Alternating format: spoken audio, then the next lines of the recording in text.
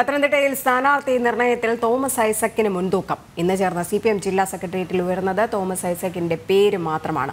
നാളെ ജില്ലാ കമ്മിറ്റി കൂടി ചർച്ച ചെയ്ത ശേഷം നിർദ്ദേശം സംസ്ഥാന നേതൃത്വത്തിന് കൈമാറും. അതേസമയം കൊല്ലത്ത് എം മുകേഷ് തന്നെ സ്ഥാനാർത്ഥിയാകണമെന്നാണ് ജില്ലാ സെക്രട്ടേറിയറ്റിന്റെ നിർദ്ദേശം.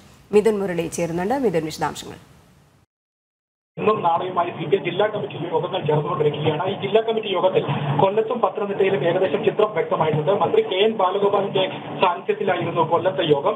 ജില്ലാ സെക്രട്ടേറിയറ്റ് യോഗത്തിൽ ജില്ലാ നേതൃത്വം ചില മാനദണ്ഡങ്ങൾ കണക്കിലെടുത്തുകൊണ്ട് മത്സരിപ്പിക്കാൻ സാധിക്കുന്ന സ്ഥാനാർത്ഥികളുടെ പേരുകൾ നിർദ്ദേശിക്കുകയാണ് പതിവ്. ഇങ്ങനെ ജില്ലാ നേതൃത്വം നൽകുന്ന പേരുകളിൽ നിന്നും സംസ്ഥാന നേതൃത്വം അടുത്ത ദിവസങ്ങളിലായിട്ട് മണ്ഡലത്തിൽ അനുയോജ്യമായ സ്ഥാനാർത്ഥിയെ തെരഞ്ഞെടുക്കും. ഇന്ന് കൊല്ലത്ത് ചേർന്ന യോഗത്തിൽ സി ജില്ലാ സെക്രട്ടേറിയറ്റ് യോഗത്തിൽ എം മുകേഷ് എം എൽ എയുടെ പേരാണ്. ഐക്യകണ്ഠന ഉയർന്നു വന്നത് സി പി എമ്മിനെ സംബന്ധിച്ച് കൊല്ലത്ത് അഭിമാന പോരാട്ടമാണ്. അതുകൊണ്ട് തന്നെ മണ്ഡലത്തിൽ പരിചിതനായ ഒരാളെ സ്ഥാനാർത്ഥിയാക്കുക എന്നതിലേക്ക് ജില്ലാ സെക്രട്ടേറിയറ്റ് തീരുമാനമെത്തുകയായിരുന്നു. മണ്ഡലത്തിലെ പരിചിതനായ ആൾ മണ്ഡലത്തിലെ ഈഴവ പ്രാതിനിധ്യം മുകേഷിന് അനുകൂലമായി വരും. സെലിബ്രിറ്റി മുഖമുള്ളത് കൊണ്ട് തന്നെ പാർട്ടി വോട്ടുകൾക്ക് അപ്പുറം ഉള്ള വോട്ടുകൾ നേടാനാകും. തുടങ്ങിയ വിലയിരുത്തലുകളിലാണ് മുകേഷിന്റെ പേര് ഏകഘട്ടമായി ഇന്ന് ജില്ലാ സെക്രട്ടേറിയറ്റ് തീരുമാനിച്ചത്. അതോടൊപ്പം തന്നെ പത്തനംതിട്ടയിലും സമാനമായ സാഹചര്യം തന്നെയാണ്. പത്തനംതിട്ടയിലും തോമസ് ഐസക്കിന്റെ പേരാണ് ജില്ലാ സെക്രട്ടേറിയറ്റിൽ ഏകകണ്ഠ്യമായിട്ട് ഉയർന്നു വന്നത്.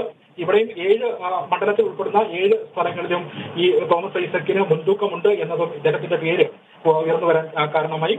ഇരുപത്തി ഒന്നിനാണ് സംസ്ഥാന കമ്മിറ്റി ചേരുന്നത്. പിന്നീട് സംസ്ഥാന സെക്രട്ടേറിയറ്റിലും ഈ രണ്ട് പേരുകളും അവതരിപ്പിക്കും. ഇരുപത്തിയേഴിന് പോളിറ്റ് ബ്യൂറോ അംഗീകാരത്തോടെ ഇവരുടെ രണ്ടുപേരുടെ പ്രഖ്യാപനം ഉണ്ടാകും. രജനി. 그?